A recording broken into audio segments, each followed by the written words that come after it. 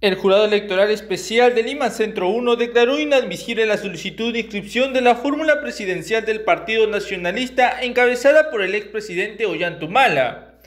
La decisión de la entidad electoral se produce debido a que en la declaración jurada de hoja de vida no se ha informado si Humala-Tazo percibe o no alguna remuneración por ocupar el cargo de presidente de partido. Asimismo, indica que si bien Ollantumala ha consignado su pensión como expresidente de la República en el rubro de otros ingresos anuales, debe informar si percibe remuneración por ser militar en retiro. Por esa razón, el Jurado Electoral Especial de Lima Centro 1 otorgó dos días calendario al Partido Nacionalista para subsanar los referidos errores de forma de lo contrario la inscripción será declarada improcedente se resuelve declarar inadmisible la fórmula de candidatos a la presidencia y vicepresidencias de la República presentada por Edinson Guamán Chacón, personero legal titular de la organización política Partido Nacionalista Peruano, concediéndosele el plazo de dos días calendario a efecto de que cumpla con subsanar las observaciones, se lee en la resolución.